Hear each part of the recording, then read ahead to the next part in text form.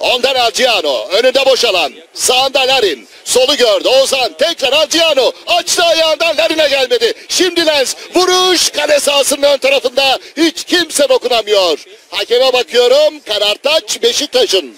Sağ sahasına doğru bakıyor. Ceza içi çok kalabalık. Orta geldi. Tolga yükseldi ve kontrol etti. Bu arada Tolga Er. Kural dışı bir şarj yapıyor Tolga'ya. Serbest vuruş Beşiktaş'ın. Tolgay Babel. Babel hareketi halinde sola doğru gönderilen top.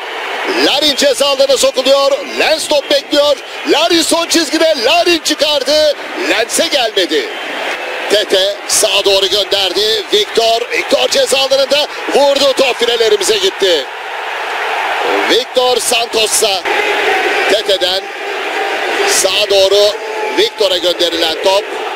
Victor Sant niçin rakibinin formasını çekti? Soru işareti.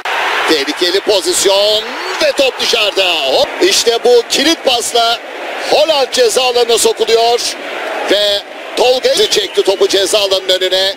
Medel Tolgay uzaktan vuracak. Vurdu. Döndü savunmadan.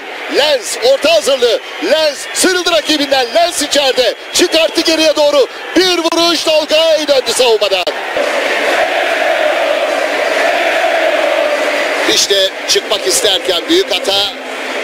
Tete topu kontrol ediyor. Tolga'dan dönen top.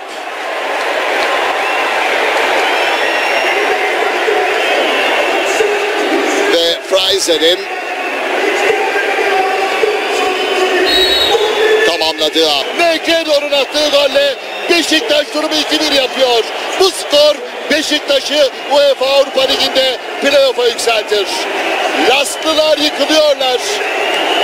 Negredo'nun attığı golle durum 2-1 oluyor. Negredo birbirlerini tebrik ediyor ve pozisyon. Caner'le çıkıyoruz. Caner rakip yarı alanda. Babel içeriye doğru kat ediyor. Caner'den Negredo vuruyor. Ve bu skor Beşiktaş'ı UEFA Avrupa Ligi'nde playoff'a yükseltecek. Negredo'nun vuruşunda top falso alıyor. Şenol Güneş ve